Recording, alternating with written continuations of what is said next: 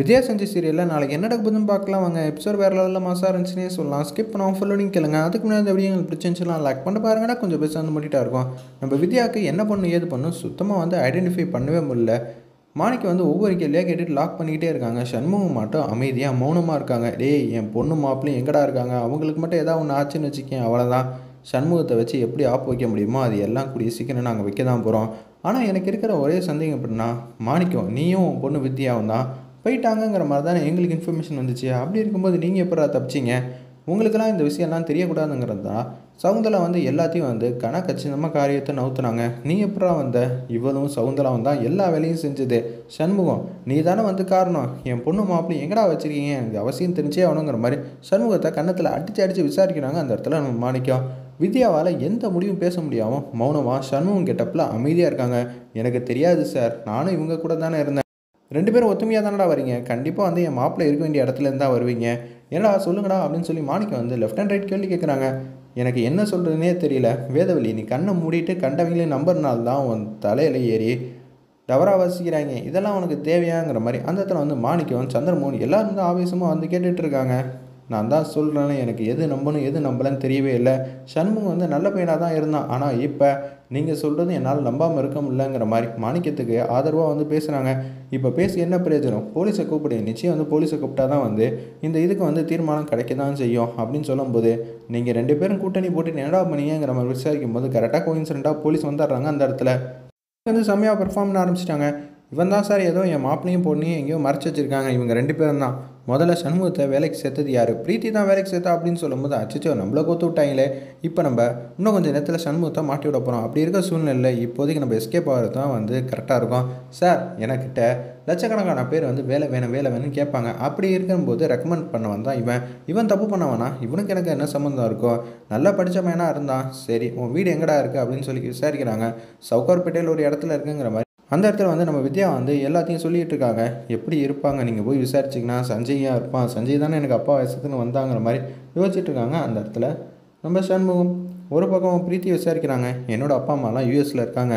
அவங்களாம் இங்கே இருக்க மாட்டாங்க. நீ எதுக்குமா இங்கே இருந்த? நான் வேதவெளிக்கிட்ட வந்து உண்மையாகவும் விசுவாசியம் தான் வேலை பார்த்துக்கிட்டு இருந்தேன் அப்படின்னு சொல்லும்போது ஆமாம் இவங்க ரெண்டு பேரும் நல்லவங்க தான். போலீஸ் வந்து அங்கே ஏரியாவில் போய் சவுகார்பேட்டையில் என்ன டீட்டெயிலும் வந்து கலெக்ட் பண்ணிட்டு வராங்க. கண்டிப்பாக இவன் ஃப்ராடாக தான் இருப்பான். ஏன்னா இவன் அந்த வீட்டில் அட்ரஸில் இது வரைக்கும் யாருமே வந்ததில்லை. ஒரே ஒரு நாள் மட்டும்தான் இருந்திருக்காங்க. இப்போ விசாரிச்சதில் யாருமே இல்லைங்கிற மாதிரி சொல்கிறாங்க என்ன மேடம் அட்ரஸ்லாம் கூட தெளிவாக வந்து விசாரிக்க மாட்டிங்களா? எனக்கு எழுத படிக்க கூட தெரியாது. நான் வந்து வேதவழியை மாட்ட பொய் சொல்லி தான் வேலைக்கு வந்து சேர்ந்தேன். எனக்கு அப்பா அம்மா யாருமே கிடையாது. நான் ஒரு அனாதாங்கிற மாதிரி முஞ்சிக்கு நேரம் பேச ஆரம்பிச்சிட்டாங்க. வேதவழி அம்மாவுக்கு பேரதிர்ச்சி ஆயிடுச்சு. இவங்க ரெண்டு பேர் ஃபோனை வந்து கொடுங்கன்னு சொல்லி பிரீத்தியோட ஃபோனையும் சண்முகத்தோட ஃபோனையும் வாங்கிட்டாங்க. அப்படியே வந்து செக் பண்ணிக்கலாம்.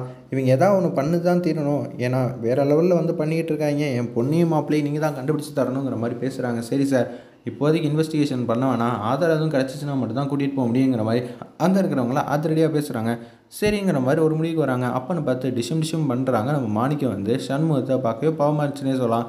வீட்டை விட்டு வெளியில் போடா.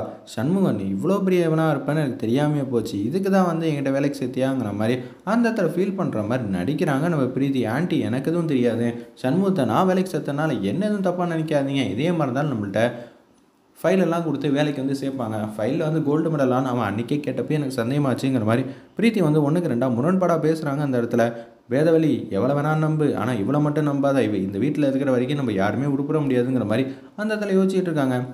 ஒரு பக்கம் வந்து குடோனுக்கு இப்போ தான் வராங்க போல இருக்கு. சஞ்சய் சஞ்சய் தேட வந்திருக்காங்க பார்த்தா சஞ்சய் அந்த இடத்துல இல்லவே இல்லை. உடன் முக்கால்வாசி இடம் வந்து அப்படியே சாம்பலாகி போய் கிடக்கு.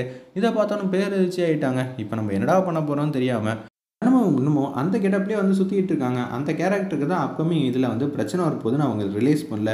சஞ்சய்க்கு வந்து ஏதோ ஒரு பிரச்சனை ஆயிடுச்சுங்கிற மாதிரி பேர் அதிர்ச்சியில் இருக்கிறனால அவங்க மேக்கப்பை வந்து கலைக்காமல் இருக்கிறனால இதுலேயே வந்து அவங்க ஆபத்தில் சிக்கிற மாதிரி தான் அந்த சீன் வந்து எடுத்திருந்தாங்க. ஏதோ கேஷுவலாக வந்து ஜூஸ் கடைக்கு போய் ஆப்பிள் ஜூஸ் வேணுங்கிற மாதிரி சொல்லும்போது சஞ்சய் இது மாதிரி பண்ணாங்களே நம்ம வித்யா? அந்த ஃபோட்டோ வீடியோஸ் எல்லாத்தையும் வந்து நியூஸில் வந்து டெலிகாஸ்ட் பண்ணிகிட்டு இருக்காங்க. இதை பார்த்தோன்னு வந்து கடைக்காரங்களாம் ஏய் ஃபோட்டோவில் இருக்கிறவன் வீடியோவில் இருக்கிறவன் இவன் தாண்டா அப்படின்னு சொல்லி இவனை துரத்திக்கிட்டு இருக்காங்க. அச்சோ இது வேற ஆயிடுச்சா? நம்மளை சிக்க வைக்கணும் தான். பிரீத்தி வந்து இந்த மாதிரி முடிவு பண்ணிட்டா. இப்போது இந்த கெட்டப்பில் நம்மளால் இருக்கவே முடியாதுன்னு சொல்லிட்டு குடுகுடுன்னு ஓடிக்கிட்டே இருக்காங்க. அவங்களும் விடாமல் துரத்திக்கிட்டே இருக்காங்க. வேதவழி அம்மா எவ்வளோ நல்லவங்க. அவங்க குடும்பத்திலே இது மாதிரி பிரச்சனை ஆயிடுச்சா? இவன் வேதவழி அம்மாவோட பிஏடா எனக்கு இப்போதான்டா ஞாபகத்து வருதுங்கிற மாதிரி ஜூஸ் கடையில் இருக்கிறவங்க நாலஞ்சு பேர் வந்து சண்முகத்தை துரத்திட்டே இருக்கிறப்ப ஒரு காருக்கு பின்னாடி வந்து ஒழிஞ்சிக்கிறாங்க இந்த சைடு வரிசையாக கார் நிற்குதுடா காருக்கு பின்னாடி இருக்கான்னு பார்க்கும்போது அவங்க கண்ணில் வந்து மண்ணை தூக்கிட்டு நம்ம சண்முகம் மட்டும் எஸ்கேப் ஆயிடுறாங்க. இப்போ நம்ம என்ன பண்ண போகிறோம் ஒரு பக்கம் சஞ்சய் எங்கே இருக்கான்னு கண்டுபிடிக்க முடியல. சஞ்சயை காப்பாற்றணும்னு நினச்சாலும் என்ன எதுவும் பண்ண முடியல. நம்ம தப்பு பண்ணிட்டோம். கடைசி நேரத்தில் வந்து நம்ம கெட்டப்பை கழிச்சிருந்து சஞ்சயாவது காப்பாற்றிருக்கலாங்கிற மாதிரி அந்த இடத்துல வந்து வித்யா வந்து யோசிச்சுட்டு இருக்காங்க. இருப்பினும் நோ யூஸ் ஆகிடுச்சுங்கிற மாதிரி தான் அவங்க வந்து புரிஞ்சுக்கிறாங்க. இதை வந்து டிவியில் வந்து டெலிகாஸ்ட் பண்ணிகிட்டு இருக்காங்க. மனசை வந்து அவங்க ரூமில் இருக்கும்போது பார்த்தோன்னே பேரரிச்சியாகி அழு அழுன்னு அழுதுகிட்டு இருக்காங்க. மாணிக்க வந்து கேட்குறாங்க சந்திரமோன்ட்ட இதே மாதிரி நம்ம கேஷுவலாக உட்காந்துட்டு இருந்தால் எப்பட்றா உன்னோட செல்வாக்குக்கு நீ சொடக்க போகிற நேரத்தில் எத்தனை கமிஷனர்கிட்ட வேணான்னு பேசி ஏதாவது நம்ம பையனை வந்து தேட சொல்லலாம் நம்ம மருமகளையும். அப்படி இருக்கும்போது அமைதியாக இருந்தால் எப்படிடா மோகனுங்கிற மாதிரி மாணிக்கம் வந்து யதார்த்தமாக பேசிக்கிட்டு இருக்காங்க. வேதவழி அம்மா வந்து என்ன பண்ணுறது எது பண்ணு தெரியாமல் யார் மேலே தப்பு இருக்குது உண்மையிலேயே வந்து சண்முகம் வந்து நம்ம குடும்பத்தை வந்து பழிவாங்க தான் வந்திருக்கானா? ஒன்றுமே புரியலையே. ஆனால் நிறையா வாட்டி நம்ம குடும்பத்தை வந்து காப்பாற்றிருக்கானே அது மட்டும் நல்லா புரியுதுங்கிற மாதிரி வேதவழி அம்மா வந்து திங்க் பண்ணுறாங்க அந்த இடத்துல. அப்போன்னு பார்த்து டிவியில் டிவியிலங்கிற மாதிரி ஒரு விஷயத்த சொல்ல முடியாமல் மானசா வந்து அழுதுகிட்டே பேசுகிறாங்க என்னம்மா வித்தியாசம்? என்ன வருது? எனக்கு ஒன்றும் புரியலையே. அண்ணனை வந்து அனுப்பிச்சி வச்சுட்டாங்களா அப்படின்னு சொன்னோன்னா மாணிக்க வந்து ஃபீல் பண்ணுறாங்க என்னம்மா சொல்கிற அப்படின்னு சொல்லி டிவியை பார்க்கும்போது சண்முகம் தான் இது மாதிரி பண்ணுறாங்க நான் தான் அப்பயே சொன்னேன் சண்முகத்தை நம்பாதீங்க நம்பாதீங்க. எவனாவது கேட்டிங்களா? பிரீத்தி சொல்ல சொல்ல தான் சண்முகத்தோட திட்டம். இதுதான் எனக்கு முன்னாடியே தெரிஞ்சு தான் அவனை எப்படி இருந்தாலும் துரத்தி விட்டுறலான்னு நான் முடிவு பண்ணேன். ஆனால் கட்ட கடைசியில் இது மாதிரி ஆயிடுச்சுங்கிற மாதிரி வருத்தப்பட்டு பேசுகிறாங்க அந்த இடத்துல நம்ம மாணிக்கம். வேதவழி அம்மா கேஷுவலாக அந்த இடத்துக்கு வராங்க. என்னாச்சு? என்ன பிரச்சனை? அதெல்லாம் ஒன்றும் இல்லை. அப்படின்னு அமைதியாக இருக்காங்க. வேதவழிக்கு இப்போதைக்கு இது தெரிய வேணாங்கிற மாதிரி எல்லோரும் மௌனமாக காரியத்திலே கண்ணாக இருக்காங்க அந்த இடத்துல. இருப்பினும் வந்து ஸ்னேகாட்ட வந்து விசாரிக்கிறாங்க. டிவி வந்து அணைச்சிருக்குச்சு இவ்வளோ நேரம் ஹாலில் டிவி ஓடிட்டு இருந்துச்சு. டிவி எதுக்கு அணைச்சு ஸ்னேகா டிவியை போடு. அதெல்லாம் ஒன்றும் இல்லை. சிக்னல் வந்து எடுக்கல. அதனால தான் சிக்னல் எடுக்கலையா? மழையும் பெய்யல. கிளைமேட்டும் நல்லா இருக்குது அப்புறம் எப்படி சிக்னல் எடுக்காமல் இருக்கும்? என்ன நடக்குது இங்கே தெரிஞ்சுக்கலாமா அப்படின்னு சொல்லி ஸ்னேகாட்ட வந்து துரி துரி விசாரிக்கிறாங்க. ஸ்னேகா எதுவும் ரெஸ்பான்ஸ் பண்ண மாட்டேங்கிறாங்க. மானசா என்ன ஆச்சுங்கிற மாதிரி கேட்குறாங்க அந்த இடத்துல.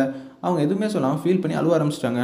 என்னம்மா அழுந்துக்கிட்டு இருக்கேன் உன்னை மானசா வந்து அக் பண்ண ஆரம்பிச்சிட்டாங்க. நம்ம வேதவள்ளி அம்மா பெரிய பிரச்சனையாயிடுச்சு சண்முகத்தினால. என்னம்மா ஆச்சு? சண்முகத்தினால என்ன பிரச்சனை? அவன் ரொம்ப நல்ல பையன் தானே. ஆமாம் அவன் நல்ல பையனை தான் நீயே வந்து பாராட்டணும். ஆரம்பத்திலே சொன்ன அவனெல்லாம் வேலைக்கு சேர்க்காத பிரீத்தியும் சண்முகம் சேர்ந்து தான் நம்ம மாப்பிள்ளையை வந்து இது மாதிரி அனுப்பிச்சி வச்சுட்டாங்க. என்னது? நம்ம மாப்பிள்ளையை இது மாதிரி அனுப்பிச்சி வச்சுட்டாங்களா? சஞ்சய்க்கு என்னாச்சு? ஆமாம்மா இப்போ டிவியில் வந்து சொன்னாங்க. இது மாதிரி இதை எடுத்துகிட்டு வந்து சண்முகம் வந்து நேரடியாக வந்து இது மாதிரி பண்ணுறாங்க வீடியோ எடுத்துட்டாங்க. அதை தான் வந்து டிவிலலாம் காட்டிகிட்டு இருக்காங்க. இப்போ என்னம்மா பண்ண போகிறோம் நம்ம அண்ணனோட உடம்பு கூட நம்மளால் பார்க்க முடியாதுங்கிற மாதிரி அந்த இடத்துல வந்து ஒன்று கிடக்கா ஒன்று பேசிக்கிட்டு இருக்காங்க. பேர் இடி இருந்த மாதிரி செமையாக வந்து ஃபீல் பண்ணி பர்ஃபார்ம் பண்ண ஆரம்பிச்சிட்டாங்க அந்த இடத்துல. நம்ம வேதவலியம்மா என்னம்மா சொல்கிறீங்க என் பையனுக்கு இப்படி மாதிரி நிலமையா?